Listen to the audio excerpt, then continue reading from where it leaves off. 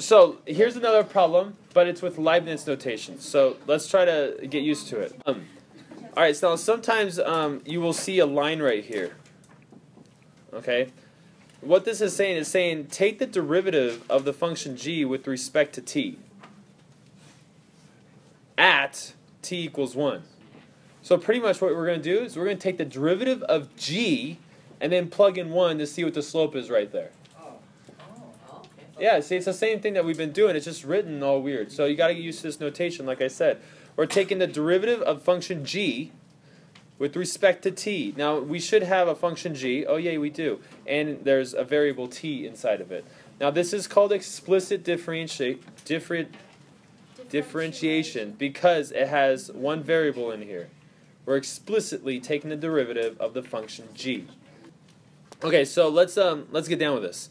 Um, so to take uh, the derivative of this, it's going to look like this. Uh, we have dg over dt, and we're going to take that derivative of, let's see, um, let's see, d over dt of this whole thing. So it's negative t, wait, no, it's not negative, that's a positive. Sorry, positive t to the negative 3 plus 2. Now I'm going to change this one to be a, uh, to 1 half power because it makes our lives a little easier. Minus t raised to the, is that a negative 4 over 5? Yeah. Negative 4 over 5. Okay. Now, when we take the derivative of this, you have to take, we got to take the derivative of each term. So it's kind of like this. You kind of like you're going d over dt of t to the negative 3. You're going d over dt of 2t to 1 half. And you're going, let's see, minus d over dt.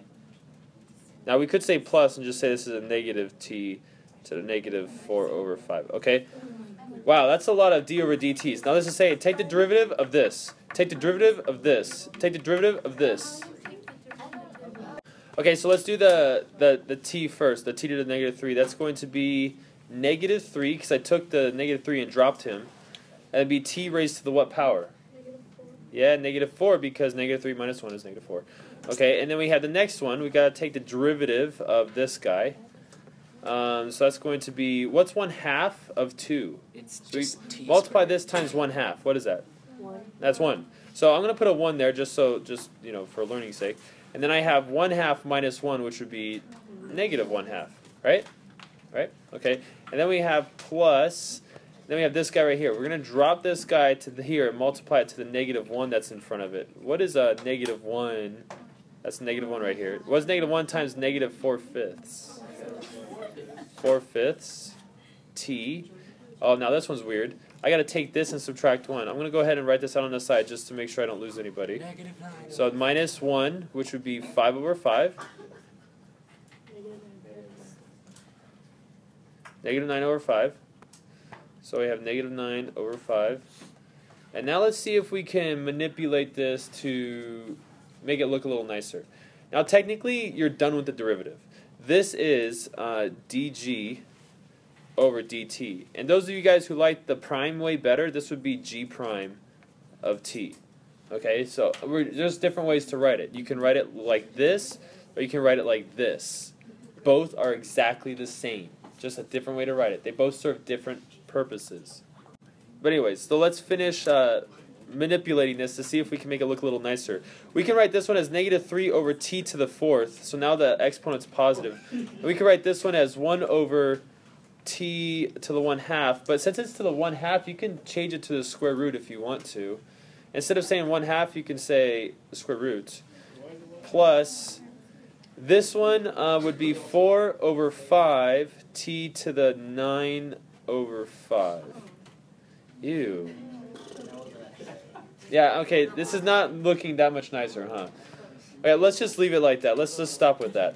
Okay, let's um let's take our, our derivative right here and plug in that t so that we can find our answer.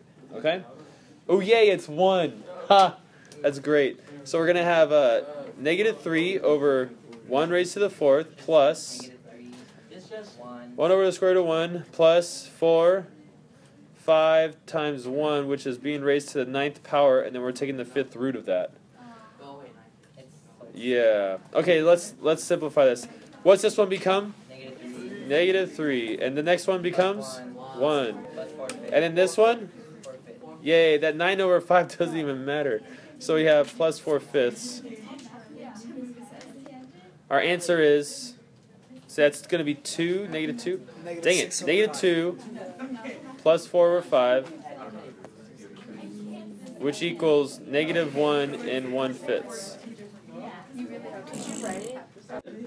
Can you write this as an improper fraction? Absolutely. All right, it's the same thing. Um, it was also asked, uh, what happened to that 9 over 5? Well, let me review for you. That 9 is the power, and that 5 is the root. Well, 1 to the ninth power is just 1, and the fifth root of 1 is just 1. So that's why the 9 over 5 didn't matter. It just goes away because of the 1. Thank goodness that this was a 1 right here. Um, but that's it. That's your answer. That is the slope of this function at t equals 1.